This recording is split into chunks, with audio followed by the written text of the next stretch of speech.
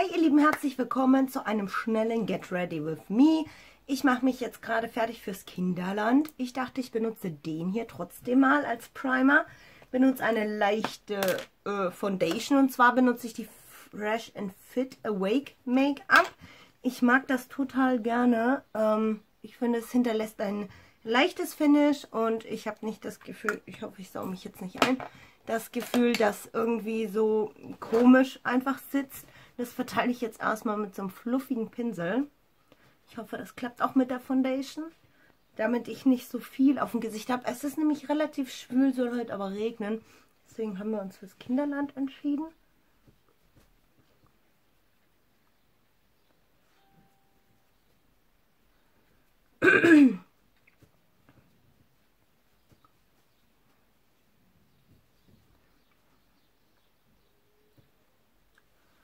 So.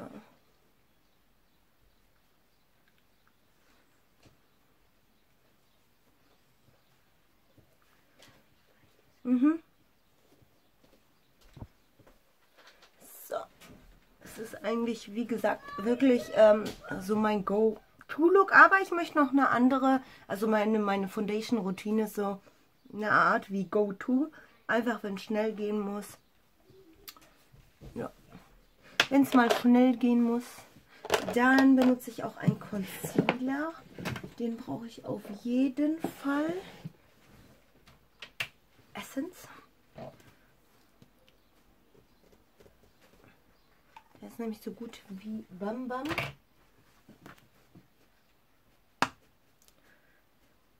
Ich glaube, ich gucke mir auf jeden Fall diesen It Cosmetics Pinsel an. Ich finde es auch toll, dass er zwei Seiten hat.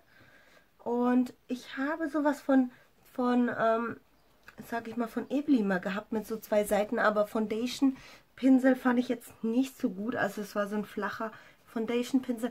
Ich finde das eine Art ähm, wie geairbrushed mit dieser Foundation von Essence. Es ist wirklich für kleines Geld so eine tolle Foundation. Kann ich euch absolut ins Herz legen. Gerade für so einen Sommer. Es liegt nicht auf, also man sieht nicht, dass man Foundation trägt, finde ich. Es sieht ganz, ganz leicht aus und ich habe endlich mal wieder Nasenpiercing und auch Schmuck dran. Ich habe so viel Schmuck und trage es nicht so, so schön. Ja, es ist auch so heiß. Mir ist gerade so heiß. Heiß, heiß, heiß, heiß. Dann ähm, möchte ich aus meiner NYX Palette, die ich ja so liebe, nicht, immer noch diese zwei Farben benutzen, dieses Gelb und Weiß. Das mische ich immer zusammen und trage mir das mal unter die Augen auf, wenn nichts creasen kann.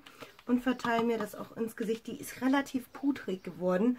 Also ich glaube schon, dass ich irgendwann nach die Konsistenz verändert, dass es halt nicht mehr so schön ist wie am Anfang.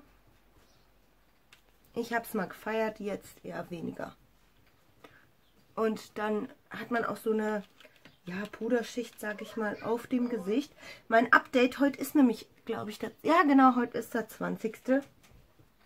Ähm, eigentlich ist mein Update heute dran. Mal gucken, ob ich es heute Abend schaffe. Wenn nicht, dann kommt es halt ein paar Tage verzögert. Ich muss nochmal der Dörte schreiben, ob es jetzt weitergeht oder wie oder was. Ähm, genau, dann ähm, trage ich mal Bronzer auf. Das benutze ich jetzt auch hiervon.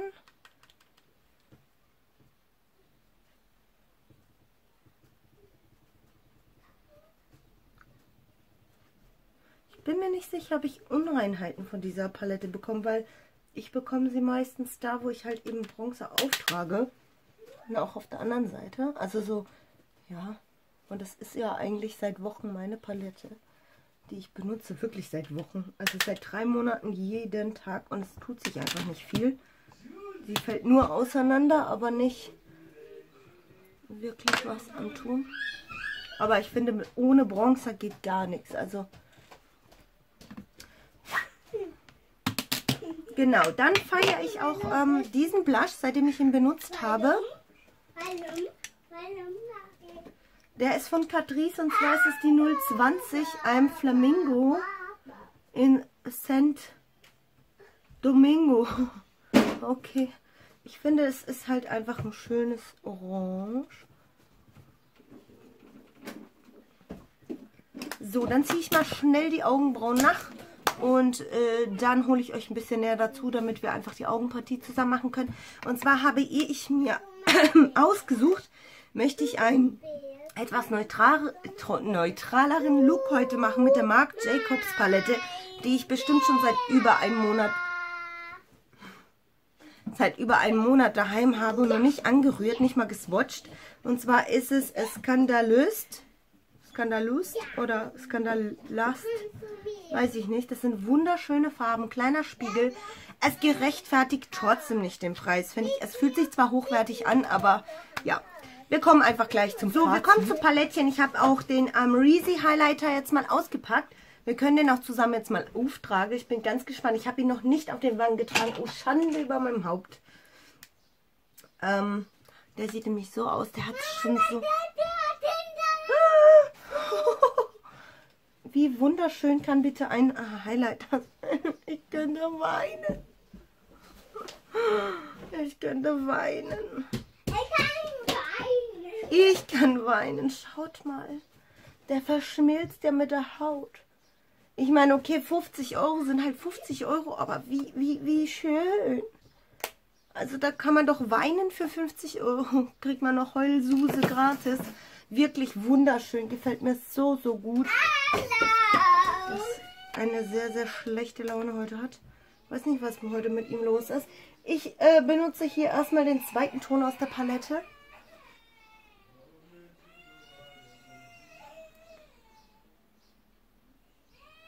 Das ist so ein Beige-Ton, würde ich sagen. Boah, dieser Highlighter, ich, ich könnte hier ab, ne? Dann nehme ich einen kleineren Trage das hier und ich mache für dich die Tür zu. Mhm. So. Seht ihr das? Oh.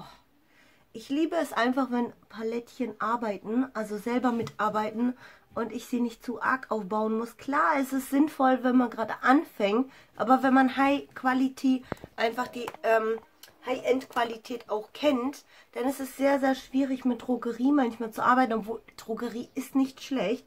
Aber wenn man dann eben die Pigmentierung aufbauen muss, unendlich, dann ist es halt, ja. Es ist eine schöne, neutrale, bärige Palette, würde ich sagen. Also man kriegt auch auf jeden Fall einen tollen Look hin und ich bin so fasziniert über mein Highlight. Wer den noch kriegen kann, ab die Post. Also ich glaube, ich habe selten so was Schönes, was so schön sich mit den ganzen Geschichten unten drunter verblenden ließ. Da geht mir einfach einer ab. Das muss man schon ehrlich sagen, ne? Ich habe jetzt wenig saubere Pinsel, um ehrlich zu euch zu sein. Ich muss mal gucken, was da noch übrig bleibt trage mir den Highlighter jetzt auch mal hier auf.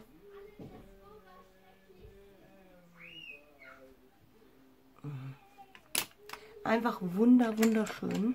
Ich würde gerne eben so einen kleinen Pinsel nehmen und da einfach in dieses dunkle, oh, oh, oh, oh, in dieses dunkle Lila gehen und so ein bisschen. Ich bin jetzt leider auch noch am Schwitzen. Ich will halt eben versuchen, man muss aufpassen, sag ich mal, mit dieser Palette. Sie bröselt sonst, sonst verliert man zu viel, zu viel Produkt unnötig. Also ich versuche immer das Pigment aufzutragen, was ich aufgewirbelt habe, um so, so sparsam wie möglich mit der Palette zu sein. Ich denke niemals, dass ich sie aufbrauche, aber man weiß ja nie.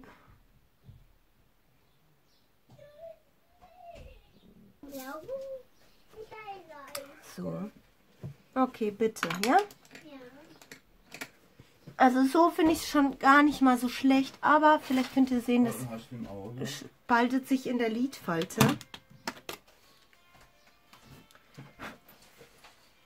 Ich möchte jetzt mal versuchen, einen mm, Champagnerton hier aufzutragen. Und zwar diesen hier. Das ist so ein, ja, eher so ein rosé gehender Champagnerton. Ich trage mir den hellen noch auf.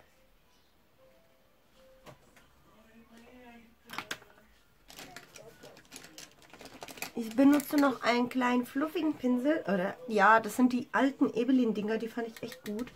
und trage mir den dunklen lilanen nochmal in der Lidfalte auf. Einfach, dass es sich so verblendet. Wisst ihr, was ich meine? Punktuell auftragen und dann nochmal ähm, ja, so, so verblenden, dass es alles so ein bisschen einheitlich aussieht. Ich finde diese Palette wunderschön. Ich freue mich auch auf diesen Cranberry-Ton, aber ich wollte doch heute etwas dezenter sein.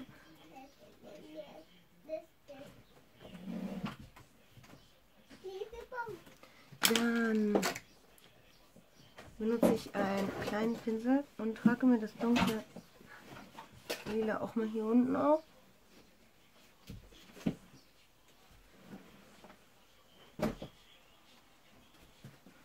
Dann fege ich mir mal alles weg. Und guck mal, was ich noch so korrigieren könnte. Ich benutze dann immer noch mal so einen fluffigen Pinsel und mit gar kein Produkt oder mit den hellsten, was ich benutzt habe. So. Dann im Innenwinkel. Im Innenwinkel trage ich mir dieses wunderschöne helle. Nein, es ist nicht heiß. Gib mal her. Wir gehen doch gar nicht raus. Wir sind im Kinderland drinnen. Es ist aber so mehr ganz heiß. Dann trage ich mir noch einen Lidstrich auf. Ich könnte mir den Champagner auch hier... Ich, ich, ich liebe meinen Highlighter. Ich liebe meinen Highlighter. Und es sieht alles so ein bisschen erwachsen einfach aus. Wisst ihr, was ich meine? Das sieht alles, ja, wie gesagt, erwachsen aus und gar nicht so... Ich teste ein neues Produkt aus. Ich finde die Palette bisher nicht schlecht, muss ich sagen, aber ich denke nicht, dass über 50 Euro es einfach wert ist für eine Mini-Palette, ja. Es ist schick, ja, wenn man es mitnimmt und es sieht toll aus, ist aber gerechtfertigt nicht. Von Alverde trage ich mir Hibiskus auf. Versteht sich, dass es ein Lip Liner ist. So, ähm, das fülle ich aus mit einem äh, Lippenstift und zwar die 140. Das ist mein absoluter Favorit. Das gibt so ein bisschen Ombre-Lips und sieht ganz nett aus.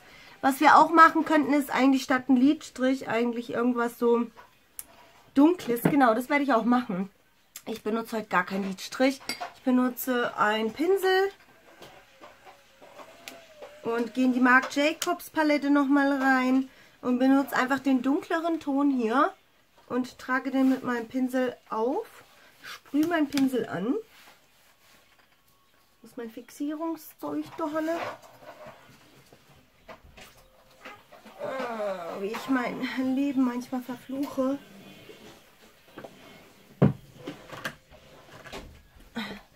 Wir improvisieren.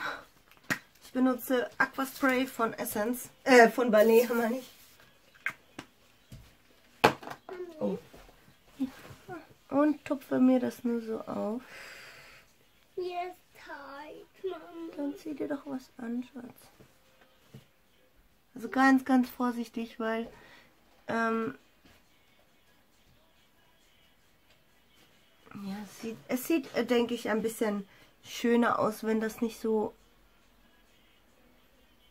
Also die Palette habe ich ja gebraucht gekauft. Von daher gerechtfertigt sich der Preis. Ich glaube, ich habe 17 Euro oder so gezahlt. Also zusammen vielleicht 20, ich weiß es nicht mehr. Okay, für den Preis ja, für den anderen nicht. Genau, so. Ich denke, so ist es in Ordnung. Ich, immer wenn mir hier was runterfällt, äh, nehme ich das einfach mit meinem Finger wieder mit hoch, damit seht ihr, dass es so hochgeliftet ist. Ich finde es besser, weil bei vielen Frauen fällt es mir auch auf, dass der Lidstrich ein bisschen so runterhängt und passiert mir auch, ja, aber es ähm, sieht dann einfach nicht so schön aus, wie ich finde.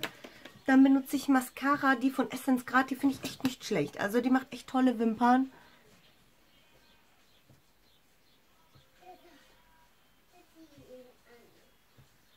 Also ich finde, seht ihr das?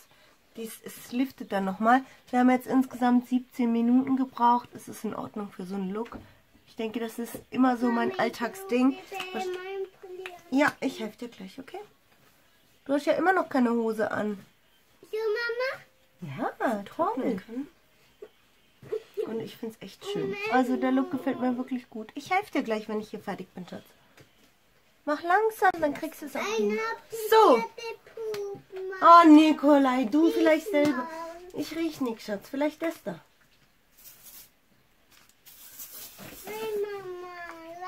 Oh, oh. Das war keine gute Idee. Ich träge fest. So. Ich denke, das ist in Ordnung. Okay, ich habe es mal wieder voll verkackt hier mit meinem Spray, was mir öfters mal passiert. Aber gut, gibt Schlimmeres im Leben. Am besten Mascara erst dann abmachen, wenn das schon getrocknet ist. Dann kann man es einfach wegrubbeln, ohne dass man irgendwas großartig davon äh, abnimmt. Ich verabschiede mich. Ich finde den Look toll. Ich freue mich, dass ich die Palette habe. Aber 50 Euro gerechtfertigen den Preis nicht. Essence kriegt es auch hin. Und das sind einfach Nude-Töne. Einfach ein lila stichiges Nude. Schön bärige Lippen und ready bin ich. Passt jetzt mal nicht dazu, aber gut. Habe ich auch auf den Fußnägel aktuell. Ich wünsche euch einen schönen Tag. Wir sehen uns das nächste Mal. Und schreibt mal, ob ihr eine Marc Jacobs Palette habt oder ihr sagt, nee, ist mir einfach zu teuer. Das würde mich interessieren. Ciao!